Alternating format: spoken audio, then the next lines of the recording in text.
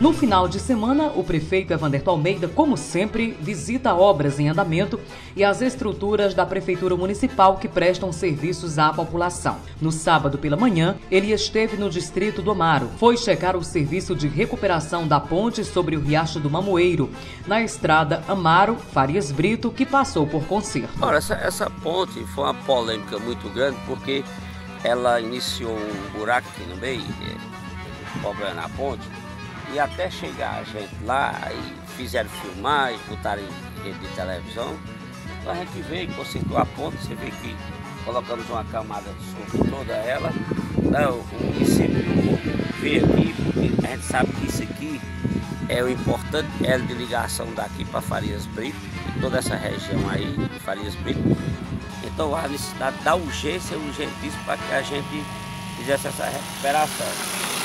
Enfim, a recuperação foi feita, você está aí, você pode mostrar aí, graças a Deus. Está ali parabéns à administração e também à comunidade, porque não teve a sua estrada interrompida.